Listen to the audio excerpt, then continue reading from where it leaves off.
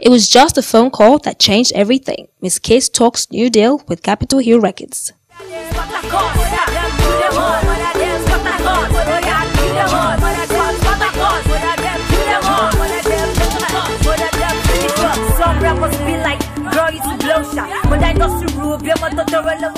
Omaomi Justin Akindele, better known as Mz Kiss, is a rapper, singer, performer, and dancer who is fast becoming a force to reckon with in the Nigerian music industry. The indigenous rapper who was influenced by the late Da Grin signed a new deal with Clarence Peters Illbliss own Capitol Hills after parting ways with Paul Gambit Entertainment and talks about how it all happened in this interview with Hip TV. Uh, it was like when people ask me this question, I'm always like, I don't know what to say. It was just a call just one call and I got to the Capitol Hill studio and here we are, you know, after I, I don't want to talk more than that.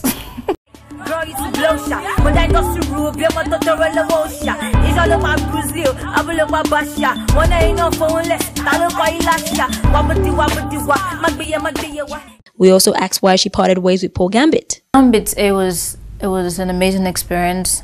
You know, I got videos and I got to learn a lot of things, but you know, at a point we had to hand it and you know move forward, do things differently like that.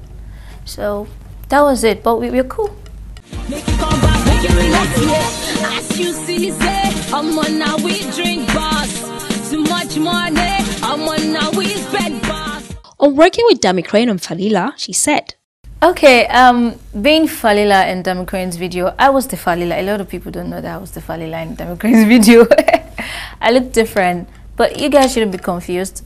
The rap part was me being Mz Kiss, and the acting part was me being Falila. So don't, you know, have. So uh, Dammy Krane, working with Dammy Krane was um, amazing. It was great.